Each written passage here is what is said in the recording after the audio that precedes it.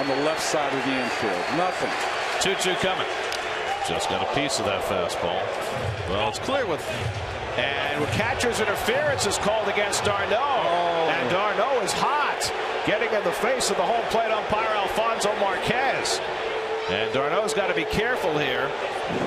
Catcher's interference called against d'Arnaud, and Howard goes to first base.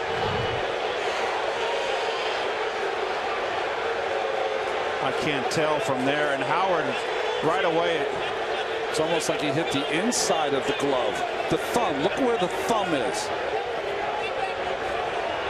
It's hard to see. Hard to see, guys. Just like the entire evening.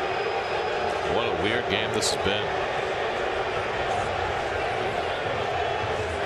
Have to say, uh, Marquez was emphatic coming out of there and saying that it was a catcher's interference. That's not something you look to call. It's something you hear to call. Well, this game has had some entertainment. We saw Bob Geren on the phone. He's talking with the Mets video guys. Catcher's interference, reviewable call? Uh, it's not oh, a reviewable Terry's call. been ejected. And you can uh, probably read lips and see that he's not going to get his money's worth after Alfonso Marquez is running from a game. I, uh, another angle. Boy boy. I didn't see it. It looks like the ball got the glove, not the bat. I didn't see it.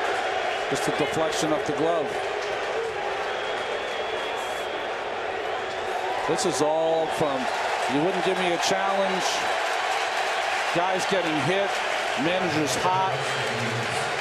So it's catcher's interference. It's, it's an error on d'Arnaud. No turn it back for Howard, and it loads the bases with two out for Carlos Ruiz in a one-run game.